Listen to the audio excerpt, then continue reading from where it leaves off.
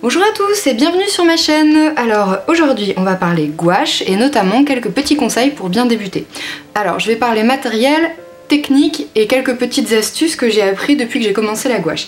Alors avant ça je vais vous montrer un petit peu ce que je fais aujourd'hui en gouache pour vous donner un petit peu euh, une idée de ce qu'on peut réussir à faire avec de la gouache. Donc là je vous montre dans mon sketchbook ce que j'ai. Donc j'ai commencé avec ce genre d'illustration. Et la dernière que j'ai faite, c'est celle-ci et celle-ci à la gouache. Donc euh, on voit que ça a un rendu qui peut vraiment être assez subtil et assez intéressant. Donc c'est assez sympa. Et quand j'ai vraiment, au tout début, j'ai commencé... Euh, j'ai fait celle-ci. Je sais pas si je la bien là, que je protège parce que c'est un sketchbook que je transporte assez souvent. D'ailleurs, je reviendrai en fait sur comment protéger correctement ces peintures à la gouache. Et enfin, j'avais fait cette peinture à la gouache. Voilà, donc euh, c'est parti, euh, mes, mes petites astuces et mes petits conseils. Niveau matériel, je vous conseille trois choses. Déjà, commencez par investir dans, une gouache de bonne qualité. Moi, je vous conseille la Linel parce que c'est celle que j'utilise, mais il faut savoir qu'il euh, y a énormément euh, d'autres marques qui proposent de la gouache extra fine et qui sont euh, d'une qualité même supérieure à la Linel. Par exemple, la Winsor Newton qui est la gouache designer qui est assez réputée. Et il y a également la Schminke qui est une gouache qui est vraiment haut de gamme. là, c'est sûr, vous ne pourrez pas vous tromper en, investissement en investissant dans une qualité de peinture à la gouache, vous aurez forcément une meilleure qualité euh, quand vous, serez en train de peindre. Euh, la gouache étude, c'est vraiment à déconseiller totalement parce que euh, au niveau de la qualité des pigments, c'est juste pas possible. Quoi. Vous allez avoir des, choses qui vont être pâteuses, qui vont, être, qui vont faire des grains, c'est vraiment très compliqué à utiliser en tout cas dans un, dans un but de faire de l'illustration. Extra fine, vraiment au minimum. Euh, moi niveau qualité-prix j'ai opté pour la Linel mais je sais qu'il y a beaucoup de personnes qui recommandent beaucoup la Winsor Newton qui est vraiment un bon compromis et qui est vraiment une, gouache dont j'ai beaucoup entendu parler et que j'aimerais bien tester. Donc ensuite il y a euh, donc euh, la question du papier. Le papier est hyper important. Moi j'ai pas mal utilisé donc, le papier de ce sketchbook qui a un papier un peu glacé, un peu Bristol. Voilà, je pense qu'on a à peu près fait le tour. Ah non, il reste les pinceaux. Donc les pinceaux, honnêtement, ne vous... Euh, enfin... inutile de prendre des pinceaux d'extrême bonne qualité. Euh, ici j'ai euh, des premiers prix en synthétique assez simples.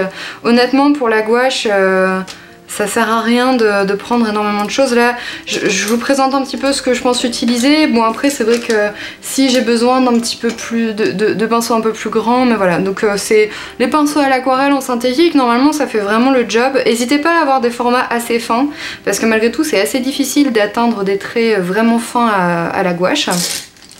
Donc une fois qu'on a tout ça, euh, bah écoutez, il euh, n'y a plus qu'à. Donc euh, moi j'ai ma petite palette que j'utilise, mais si vous n'avez pas de palette, il ne faut pas hésiter à utiliser une assiette par exemple, ça marche très bien.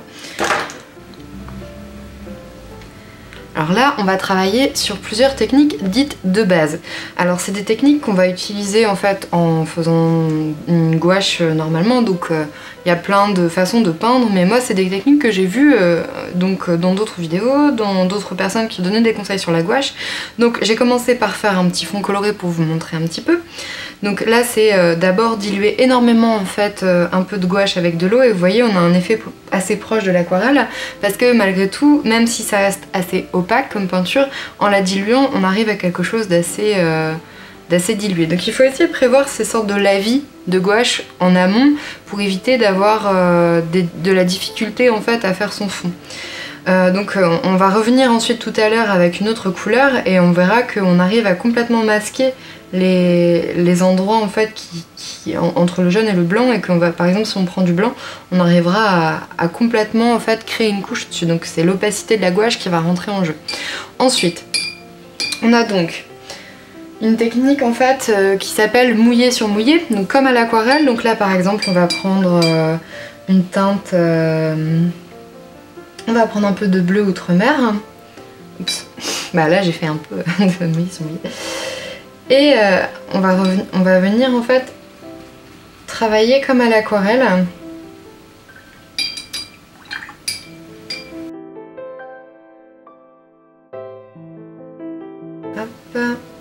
Et maintenant, on va revenir avec une autre couleur. Et profiter du fait que ce soit mouillé encore pour euh, avoir quelque chose qui va se mélanger. Donc on va venir avec un petit peu de rouge.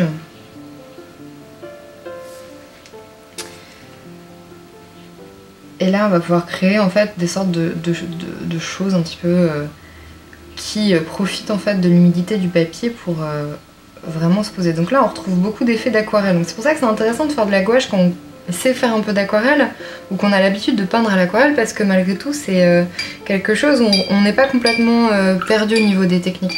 je vais faire une autre technique un peu mouillée sur mouillée qui est pour vous montrer un peu ce qu'on peut faire avec ça. On peut également partir avec juste de l'eau. Par exemple là je vais faire euh, une forme de feuille. J'ai un petit peu de pigment dans mon eau mais ça va. Hop Donc là je passe. Et si on veut vraiment le faire dans les règles de l'art normalement il faut attendre un petit peu que ça sèche, repasser ensuite avec de l'eau. J'essaie de corriger. Donc voilà, on a également encore la possibilité d'assez facilement corriger parce qu'on récupère un petit peu le, côté euh, de l'aquarelle où euh, tant que c'est encore humide, on peut quand même un peu souvent corriger. C'est pour ça, n'hésitez pas à prendre un, chiffon, une chiffonnette à côté de vous pour... Euh, pouvoir un peu gérer ça. Donc là, c'est vraiment des techniques qu'on retrouve vraiment à l'aquarelle. Euh, donc euh, si on a l'habitude, on n'est pas trop dépaysé. Donc ensuite on va faire la technique dite mouillé sur mouillé. Donc là voilà, vous voyez j'ai fait une forme de feuille, je reviens donc avec juste de l'eau. Et une fois que ma forme est bien définie sur mon papier, que ça a un petit peu fait gonfler le papier, je prends la couleur qui m'intéresse, par exemple là je vais prendre du jaune, alors moi je mets avec un peu d'eau quand même parce que j'ai peur sinon que ce soit pas assez euh, dilué. C'est pour ça que c'est intéressant aussi d'avoir euh, une petite palette pour faire ce genre de choses, ça peut être intéressant. Hop Et là par exemple je vais venir faire des petits points ou euh, hop par exemple et ça va se, diluer, enfin se, se diffuser dans l'eau en fait. Donc ce qui est intéressant c'est qu'on peut faire des choses assez sympa au niveau du résultat. Donc là, je vais essayer de, repartir. Hop. Aussi ici, sur la pointe. vous voyez là, je peins pas vraiment avec, euh, avec mon pinceau. J'utilise la diffusion de l'eau et on peut également faire des trucs euh, avec des jolis dégradés ou laisser même la peinture un petit peu euh, se, se mélanger entre elles. Voilà. Donc là, si par exemple je laisse ça comme ça et que je laisse sécher tout à l'heure, quand ce sera sec, bah, forcément ça va, ça va avoir bougé un petit peu. Donc euh, la zone de contrôle, elle est plus ou moins importante en fonction de l'eau. Plus on met de l'eau et moins c'est contrôlable, on va dire. Après, rien ne nous empêche aussi de revenir et d'absorber un peu l'excédent si on est content du résultat et qu'on veut garder... Euh, cet effet là. Donc ça c'est plutôt pour les sous-couches en fait à la gouache. Donc c'est vraiment des techniques qui servent euh, plus à ça, il faut réussir à comprendre un petit peu comment on peut contrôler l'eau. Ça c'est pas évident, je pense que c'est pareil, si on a l'habitude de le faire à l'aquarelle, ça viendra plus naturellement. Donc ça c'est vraiment euh, des, techniques entre l'aquarelle et la gouache. Maintenant, euh, la gouache c'est également une peinture assez opaque. Donc quand on a envie d'avoir vraiment une jolie opacité, euh, par exemple, je vais vous montrer, Là, quand on trace, souvent il nous reste les traits quand on est euh, sur un dessin, on, voit souvent encore les traits derrière. Il y en a que ça dérange pas, moi ça dépend le dessin en règle générale, mais il y en a que ça dérange. Et donc pour le coup, c'est avec la gouache, ça peut être une bonne façon de régler ce problème-là, parce que même avec des couleurs assez claires, par exemple comme le jaune, bah, vu que c'est opaque, bah, on est facilement... Euh, on va facilement en fait recouvrir ça. Donc par contre, il faut plus de matière donc euh, il faut réussir à bien prendre, donc il ne faut pas hésiter à réhydrater la gouache si comme moi vous la stockez dans une palette. Par contre euh, si vous l'utilisez direct du tube normalement euh, c'est à peu près ok. Donc là vous voyez, hop on passe, on voit encore un petit peu au début normalement, c'est normal, mais souvent en séchant ça devient plus opaque. Et si jamais vous trouvez que c'est pas assez opaque euh, et que vous n'êtes pas forcément sur un jaune très vif ou euh, quelque chose comme ça, rien ne vous empêche de venir et de rajouter du, blanc. Alors il faut savoir que la gouache en fait, il faut pas rajouter trop de blanc normalement dans ces mélanges parce que ça a tendance à être un petit peu compliqué à gérer. Donc euh, faut pas hésiter d'en mettre un peu. Donc moi j'ai deux blancs, j'ai un blanc isolant et un blanc super couvrant. J'utilise le super couvrant pour faire mes mélanges et le, super isolant euh, le isolant pour euh, plutôt faire mes touches finales en fait parce qu'il a tendance à glacer un petit peu et je trouve que c'est pas forcément toujours très joli. Donc normalement il faut pas dépasser 20%. Vous allez voir que déjà malgré tout on est sur quelque chose qui couvre déjà un peu plus. Je sais pas si au niveau de la peinture j'ai été assez généreuse, mais déjà on voit moins. Donc ça, ça peut être intéressant, et notamment sur les papiers assez foncés, il faut vraiment réussir à, trouver la bonne opacité. Je pense que l'astuce, c'est euh, de peut-être garder euh, euh, le, pot de blanc à côté de soi pour l'utiliser vraiment humide et pas déjà sec, et comme ça peut-être avoir moins de mal à faire ces mélanges. Ça peut être une solution quand vous avez vraiment besoin de quelque chose d'assez isolant ou de, travailler directement avec la peinture en tube, ça peut être aussi une bonne chose. Alors ensuite, euh, donc euh, ce qui est intéressant c'est que vous pouvez aussi travailler avec une brosse euh, un peu sèche. Alors par exemple à la gouache j'ai entendu pas mal de personnes dire que c'était intéressant d'avoir des pinceaux un peu abîmés avec des pointes un peu fatiguées. Bon là j'en ai pas forcément sur moi mais c'est vrai qu'on peut travailler en fait avec des effets assez assez chouette. Bon, celui-ci, il a un petit peu d'eau dessus. Je l'ai utilisé pour faire des lavis tout à l'heure. Donc, vous voyez, si vous gardez un peu la forme, bah, celui-ci, il est éclaté. Hein, c'est totalement normal.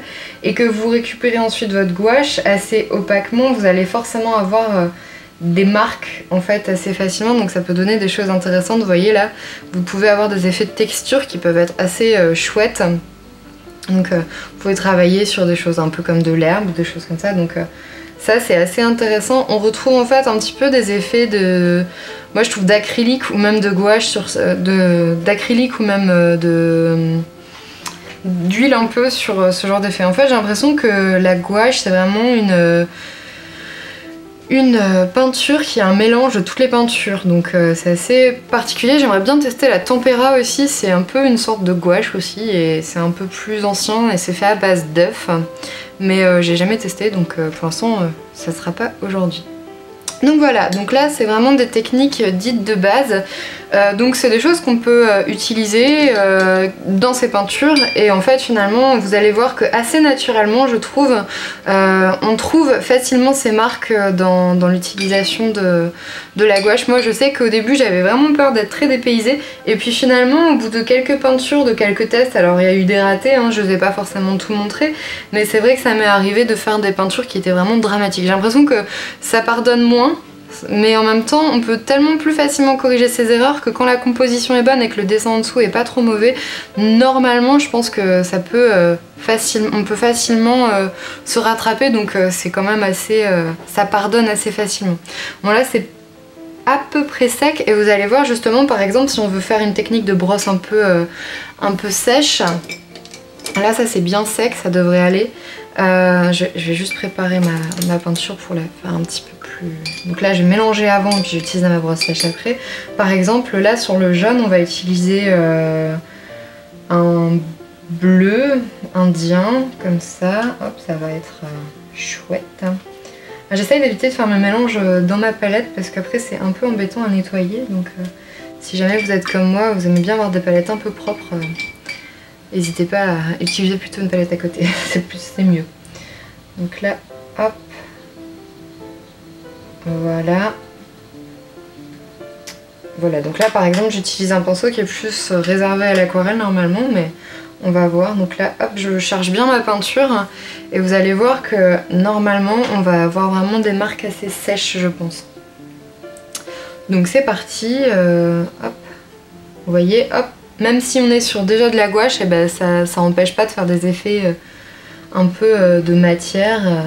Et euh, surtout, vous voyez que ça couvre vraiment bien et on voit plus trop la différence entre les bords euh, blancs et les bords euh, jaunes. Et ça, c'est vraiment intéressant par rapport à l'aquarelle, par exemple. C'est vraiment une des raisons qui m'avait poussé à faire de la gouache, c'était pour ça.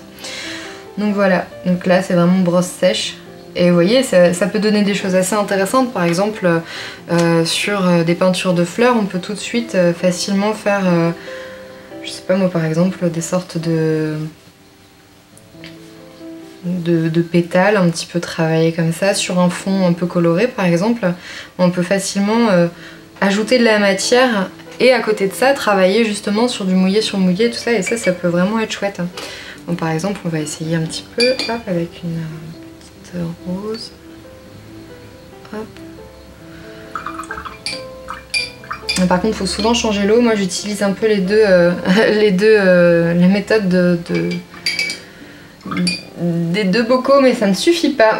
Donc des fois, c'est un peu compliqué. Alors, hop. Et là, par exemple, si on veut utiliser vraiment des techniques un peu plus euh, qui font penser un peu plus à de l'aquarelle, on voit que c'est assez facile à mettre en place. Moi vraiment je trouve que c'est vraiment intéressant. Je pense que si on a un petit peu plus l'habitude de travailler avec euh, des, des peintures, euh, que ce soit à l'acrylique, à l'aquarelle, tout ça, c'est un bon entre-deux euh, pour apprendre des nouvelles techniques et en même temps ça pardonne. Vraiment, je pense que c'est vraiment quelque chose que j'ai envie de vous dire. si vous avez juste peur parce que vous vous dites non mais ça va, ça va être une perte de temps et ça, va, ça va rendre rien, bah Franchement, c'est moi j'ai mis longtemps pour euh, sauter le pas et je, regrette pas. Voilà, bon je fais quelque chose d'assez simple, hein, un petit peu comme ça à main levée on va dire.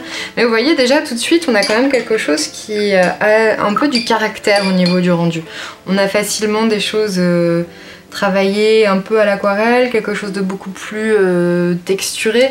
Et c'est vraiment ça que j'aime bien. Alors par contre, vraiment l'astuce euh, que je vous donne, c'est d'investir dans un pinceau très très très fin. Donc là, je vous montre là parce que sinon l'autofocus va pas se faire. Donc là, vous voyez, je suis vraiment sur quelque chose d'assez fin et c'est assez pratique. Par contre, pareil, n'hésitez pas à faire votre mélange avant et à vous servir ensuite sur votre palette parce que sinon ça va être un peu complexe. Alors moi, j'ai acheté une teinte Pinel qui s'appelle le noir velours et je regrette beaucoup parce qu'elle a une texture très étrange, un peu de velours justement. Et euh, finalement, en fait, je peins quasiment tout, et puis je trouve un peu trop sombre. Euh, finalement, j'avais pris aussi un gris de peigne qui s'est avéré être assez sombre par rapport à l'image euh, sur, par rapport à la couleur affichée sur le tube. et finalement, en fait, bah, j'utilise comme noir et c'est pas plus mal parce que ça me permet, c'est un noir un peu bleuté, un peu gris de peigne finalement. Hein, bah oui. Mais plus, euh, plus, qui tire presque sur le noir. Donc euh, après ça dépend des marques. Mais euh, voilà, donc ça c'est vraiment intéressant d'avoir un pinceau assez fin, ça vous permet de faire tout de suite des choses où vous gagnez un peu en intensité. Hop, bon là je suis partie sur du noir un peu intense quand même, donc là c'est le gris paint qui est un petit peu fort comme ça. Mais finalement en séchant, les couleurs assez sombres ont tendance à à être un peu moins sombre et les couleurs un peu plus claires à refoncer. Donc n'hésitez pas, pendant que vous travaillez, à garder ça en mémoire. Donc les couleurs sombres ont tendance à s'éclaircir en séchant. Vous pouvez le voir ici, c'était assez sombre quand je l'ai posé et finalement en séchant ça devient un peu plus, euh, un peu plus pâle. Et les couleurs euh, claires, notamment les couleurs que vous avez fait avec... Euh, que vous avez mélangé, du blanc ont tendance à s'assombrir. Donc ça c'est quelque chose d'assez important à garder en tête et euh, ça vous permet vraiment donc euh, d'éviter d'être un peu déçu. Là vous voyez tout à l'heure j'avais mélangé du bleu avec du blanc et le blanc on le voit à peine en fait. Donc ce qui peut être intéressant dans ces moments là bah, c'est de repasser derrière avec un peu de blanc et euh, bah, de pas hésiter à faire des corrections ce qui est intéressant avec la gouache, c'est que rien n'est irrémédiable et vous pouvez facilement la réactiver. Donc je vais vous montrer un peu comment on réactive euh, de la gouache. Là par exemple, je suis pas hyper fan de, mon effet d'herbe un peu bizarre.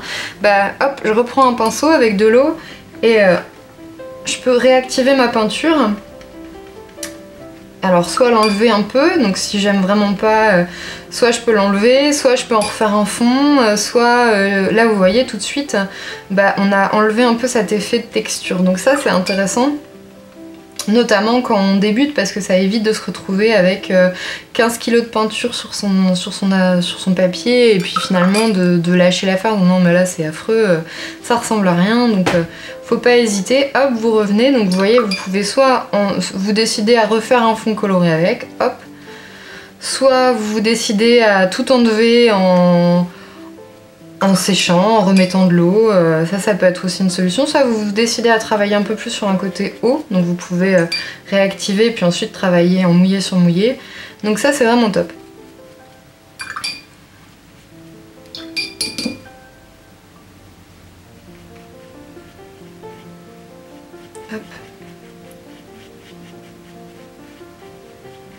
Finalement je veux que mon herbe soit verte, et bah c'est pas impossible. Enfin, voilà, ça se fait assez facilement et puis surtout faut pas hésiter à revenir derrière parce que l'opacité le permet. Donc si vous voulez rajouter des éléments en premier plan et euh, rajouter euh, des, des couleurs plus claires, faut pas hésiter. Voilà, donc ça c'était les astuces de base. Euh, j'espère que ça vous servira parce que moi personnellement, euh, ça me... les avoir en tête, ça me permet pendant que je travaille de me dire tiens bah, j'ai cette solution là si je veux apporter plus de texture, j'ai cette solution là si je veux travailler plus sur euh, un fond coloré, j'ai cette solution là pour tel ou tel effet. Voilà, j'espère que ça vous servira. Maintenant, je vais passer à euh, une de mes illustrations. Donc euh, vous, verrez un peu un montage accéléré. Et puis euh, si ça vous a plu, n'hésitez pas. Vous pouvez vous abonner en cliquant sur le, bouton abonnement. Et si vous avez des questions, n'hésitez pas à les poser dans la barre d'infos.